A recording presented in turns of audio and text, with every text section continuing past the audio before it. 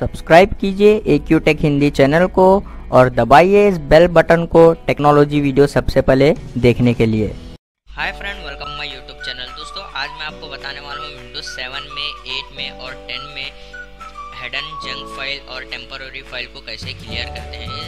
बहुत ही easy steps है दोस्तों फॉलो कीजिए।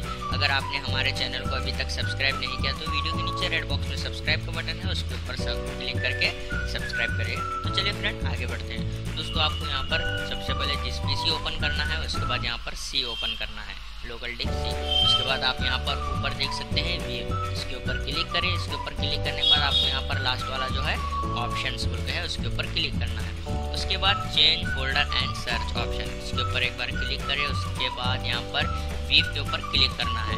वीव के ऊपर क्लिक करने के बाद show hidden files folder and drivers okay इसके ऊपर क्लिक किया, थोड़ा स्क्रॉल कर लेते हैं यहाँ पर। ये जो बॉक्स में चेक है, इसको अनचेक कर लेते हैं। Hide protected operating system file recommended इसको अनचेक किया ओके फिर यस के ऊपर क्लिक कर लेते हैं। उसके बाद अप्लाई के ऊपर क्लिक करें, फिर ओके के ऊपर क्लिक करें ओके अब यहाँ पर आप इतने सारे फोल्डर्स देख रहे हैं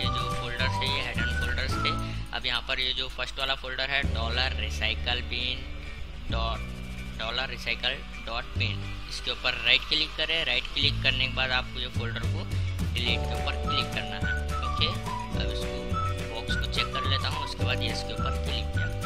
फिर से सेम प्रोसीजर ओके अब आपके जो सिस्टम के जंक फ़ाइल है और टेम्पररी जो भी फाइल्स थे, आपके सॉफ्ट ड्राइव में वो डिलीट हो गए हैं। वीडियो देखने के लिए शुक्रिया फ्रेंड उम्मीद करता हूँ दोस्तों आपको ये वीडियो ज़रूर पसंद आया होगा तो प्लीज़ लाइक करें शेयर करें। एक यूटेक हिंदी चैनल को अभी तक सब्सक्राइब नहीं किया तो वीडियो के नीचे रेड बॉक्स में जो सब्सक्राइब का बटन है, उसके ऊपर क्लिक करके सब्सक्राइब करें दोस्तों। फिर मिलते